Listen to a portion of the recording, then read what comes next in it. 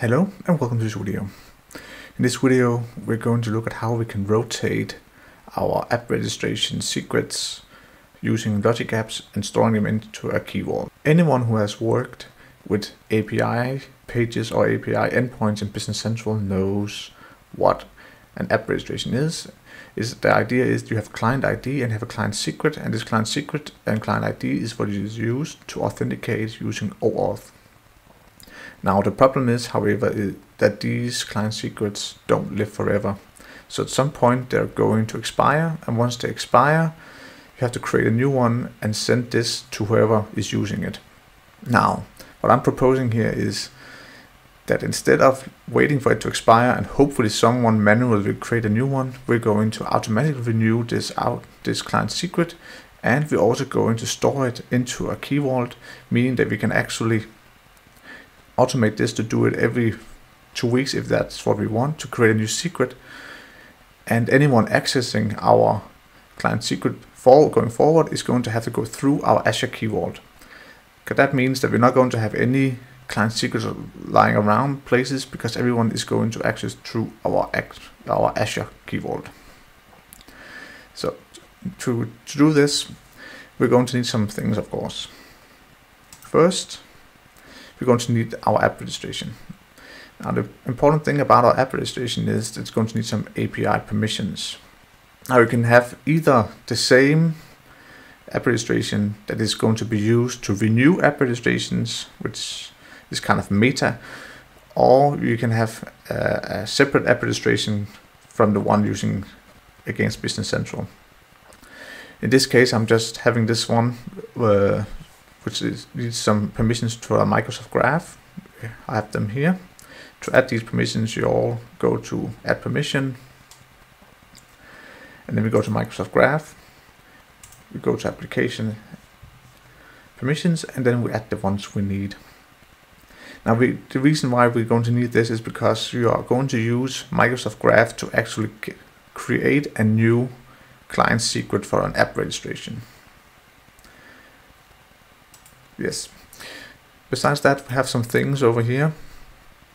We have some uh, uh, object ID and we have some tenants and stuff we're going to be needing, but we'll get back to that when we're going to use them. Next, we're going to need a key vault. So I have my key vault here. It's just a simple key vault I have. And at the moment I have one secret and of course, the first secret we're going to, you need to have to create the first secret manually to store the first client secret.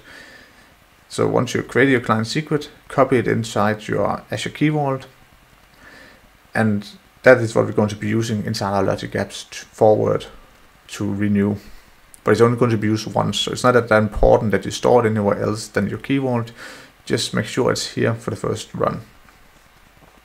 Once that is set up, I have a logic app over here. The important thing, however, is with our logic app that you go to here to identity. And you can see I have turned my identity on. We have to do that. And then in Azure Roles, I already given mine the, the permissions that it needs. But to do this, we go to add role. We choose our key vault. We say which subscription we're going to be using, which kind of resource, and then what kind of role.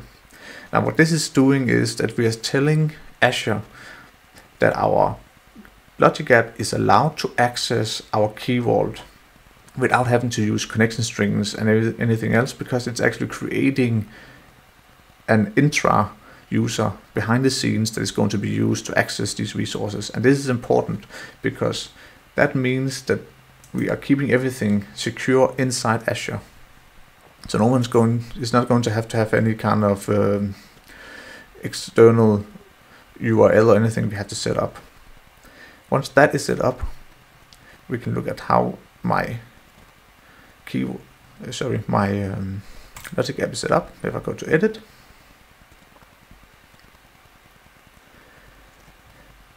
and I have set up some parameters. So I've got my tenant ID, I got my client ID, and I got my object secret. And these are the things you can get from your app registration. So we had them over here. We had our object ID, we had our tenant ID, And of course, we also have our application ID here, which is our client ID. So add these as parameters.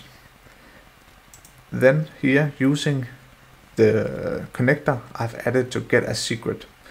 And this is where, if I go to change secret, you can add new one. And here we will say that we are using a managed identity. Because remember, we just set up the managed identity, so this is going to be using that one in. And then you give you the, the name of the vault and whatever you want to call your connection. We then get the secret from our vault and using this URL, which is the same URL you're also using when we normally get our token, we will get our security token from we can use from Microsoft Graph. I'll pass it and down here I will get whatever apps I have inside this Microsoft Graph uh, applications endpoint and then I'm using my update ID just so I'm only getting the ones that are relevant for my um, app registration. I then pass it as JSON and then here again using Microsoft Graph I will remove the old one so that means at this at the moment when I'm running this, I will first delete my current app registrations secret. I will then add a new app um, secret client secret to my app registration. Once that has been added, I will then use this endpoint to actually update using a put to update my Azure Key Vault with the new secret. And again, I'm using authentication, I'm using managed identity. So that means if I go over here and I go to my client secrets, you see I have the auto key here. And that's the one that has been automatically generated from my Logic app. And as I stated, this is just running on a recurrence. Mine is running every three months. This is of course a demo, but this, this cool thing here is you can actually run it how often you want. Because normally when you would create a new client secret, you always have the problem with having to distribute this to other people. So you, you normally won't do it that often. But the whole idea is that something that is, that is needed and has something to do with security, it should be able to automatically be refreshed without having any consequences for any of the systems using it. Well, that was actually it for this uh, video. It was a short video, but I hope you uh, learned something and I hope you uh, have some kind of strategy to handle your client secrets. Now remember there's also a link to the blog post below where you can also find all the different source code I've been using and so on and go in a little bit more detail. But uh, until next time, stay safe and thank you for watching. Goodbye.